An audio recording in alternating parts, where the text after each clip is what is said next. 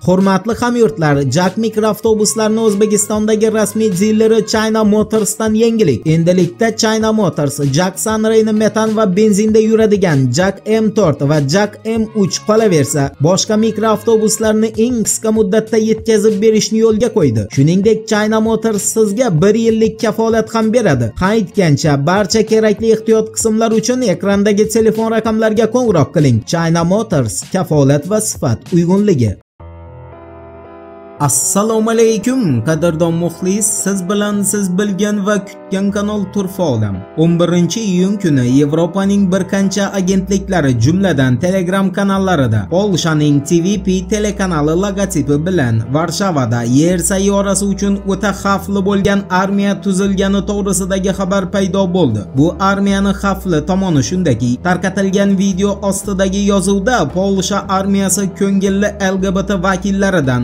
maxsus armiya tuzdi degan yozuv bor edi va bu turdagi armiya tuzilsa qolaversa o'shandaylar otryadlarga bo'linib Ukraina frontiga yoppasiga qadam qo'ysa bu haqiqatdan Ukraina frontida harakat qilayotgan boshqa haqiqiy erkaklar va haqiqiy ayollardan tashkil topgan bo'linmalar uchun juda xavfli. Buni aytmasak ham bilasiz. Ammo Ispaniyani tinib tinchimas rebellion agentligi mazkur videoni fake ekanligini dunyoga isbotlab berdi va Polsha hali bu turdagi Madriddagi jirkanchlikka qo'l urmaganini ma'lum etdi. Endi aniq fakt. Ispaniyani rebellion agentligini o'rganishlari natijasiga ko'ra, siz tasvirda ko'rib turgan suratda haqiqatdan Polsha armiyasi aks etgan. Biroq bu surat aslida 2018-yilning 15-avgust kuni olingan va u haqiqatdan Polshani TVP telekanali orqali to'g'ridan to'g'ri efirga uzatilgan. Qiziq, shuningdek hayratlanarli tomoni shundaki, bo'yniga turli qismlarni bayroqlarini bog'lab bog'lab olgan askarlar qadam tashlagan bu tadbir Polsha qo'shini kuni munosabati bilan o'tkazilgan parad sanaladi va unda rebellionga ko'ra hech qanday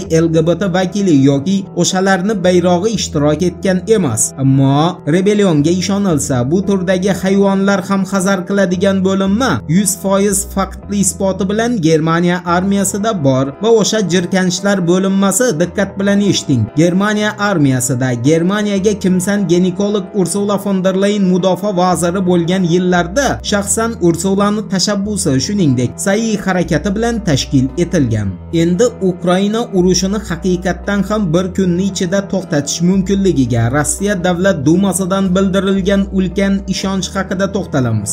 Rossiyalik senator Sergey Tsakovni 11-iyun kuni ma'lum etishiga ko'ra, Ukraina urushini rostdan ham bugunni o'zida yakunlash mumkin. Faqat buning uchun Kiyev Rossiyaga o'zini yana 3 ta viloyatini Nikolaevsk, Odessa va Xarkov viloyatlarini bersa bo'lgani. To'g'rirog'i mana shu hududlar ham Rossiyaga o'tsa, Kreml o'zini maxsus harbiy operatsiyasiga nuqta qo'yadi. Senator Sergey Tsakovning fikriga ko'ra, Ukraina hukumati mukarrar fojiadan saqlanish uchun shu ishga qo'l urishga majbur. Endi sayyoramizni birinchi raqamli badavlat fuqarosi Elon Muskni Amerika fuqarolarini sal-pal kallani ishlatib turishga chaqirgani bilan bog'liq xabarga yuzlanamiz. Twitter sohibi Elon Muskni o'zini Twitter'dagi sahifasida qayd qilishiga ko'ra, Amerika Qo'shma Shtatlari o'tgan oqshom, aniqrog'i 9-iyun kuni Ukrainaga yana 2.1 milliard dollarlik yangi qurollar yordam paketi ajratdi. Fojiaviy tomoni shundaki, bu qurollar ichida Patriot raketalari va tizimlari, Hawk raketalari, 203 mm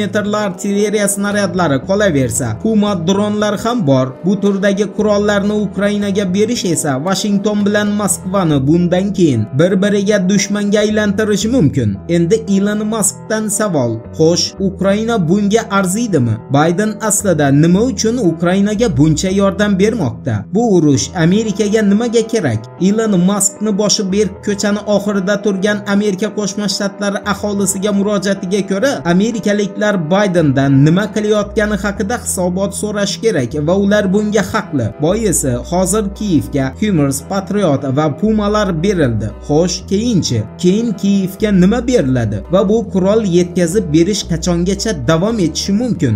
Bu Elon Muskni o'z sahifasidagi savollari edi. Endi Donald Trampga qo'yilgan ayblovni Trampni o'z og'zi bilan izohlagani to'g'risidagi xabar xabarga o'tamiz. Amerikaning newsmax telekanalining xabariga ko'ra donald tramp 11 iyun kuni shimoliy karolina shtatini grinsboro shahridagi mitingda o'ziga qo'yilgan ayblovga izoh bergan. Unga ko'ra donald trampga ayblov baydenni ukrainadan 5 million dollar pora olgani haqidagi isbotli dalil federal qidiruv byurosi tomonidan e'lon qilingan kuni qo'yildi. Ya'ni federal qidiruv byurosi baydenni poraxo'rligini ochib tashlagani uchun kaliforniya okrugi sudi albatta bayden bog'liq oq uyni bosimi bilan donald trampga ayblov e'lon qildi. Vaholanki oq uyni maxfiy hujjatlari Baydenning uyidan trampnikiga qaraganda 10 marta ko'p topilgan. Mana demokratiyani vatani. Voqealar rivojini birgalikda kuzatamiz. Turfa olam bilan qoling. Siz kutgan kerakli ma'lumotlar